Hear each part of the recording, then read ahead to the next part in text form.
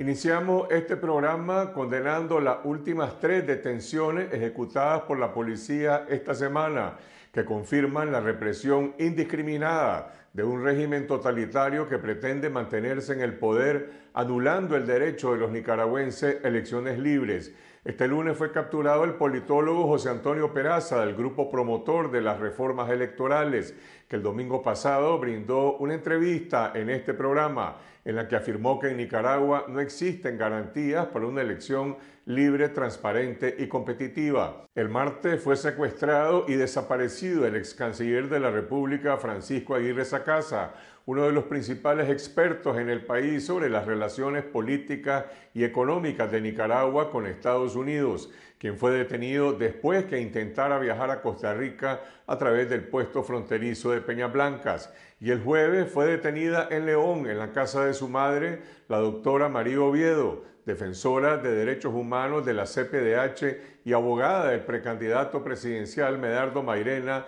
y de los líderes campesinos que están secuestrados en el Chipote.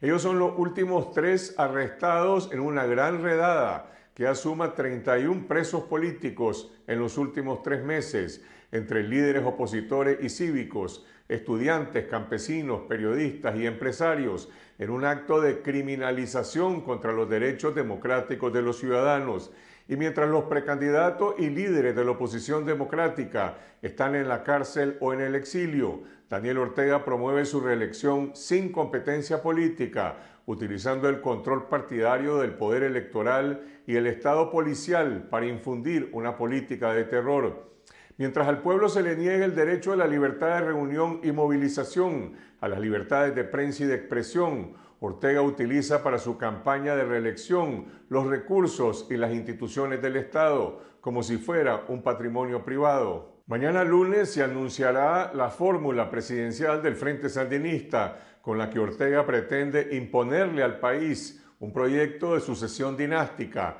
al mantener a su esposa Rosario Murillo como candidata a vicepresidente, a pesar de que en las protestas cívicas de abril 2018 la mayoría política azul y blanco del país de forma masiva demandó la salida del poder de Ortega y Murillo y elecciones libres. En realidad, la rebelión de abril enterró para siempre el proyecto de una dictadura dinástica y de una candidatura presidencial de Rosario Murillo en 2021. Y sin embargo, Ortega persiste en imponer este proyecto de sucesión dinástica de un régimen que ha sido señalado de crímenes de lesa humanidad pero al encarcelar a sus principales competidores políticos, incluyendo a todo el espectro plural de la oposición democrática y a los líderes que surgieron en las protestas de abril, Ortega también ha liquidado la legitimidad de las elecciones del 7 de noviembre y su propia reelección. Porque las consecuencias de la ilegitimidad de las elecciones de noviembre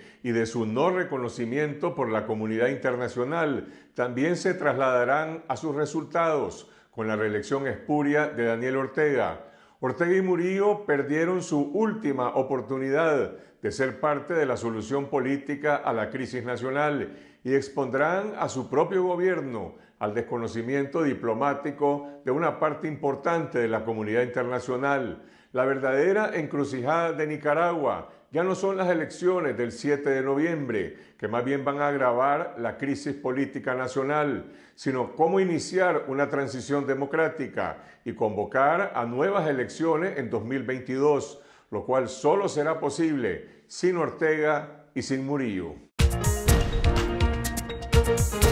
Gracias por ver este video. Y si aún no lo has hecho, suscríbete a nuestro canal en YouTube activar las notificaciones para recibir las noticias del momento sobre Nicaragua. Tu respaldo a Confidencial es imprescindible para seguir informando y para ganar la batalla de la verdad.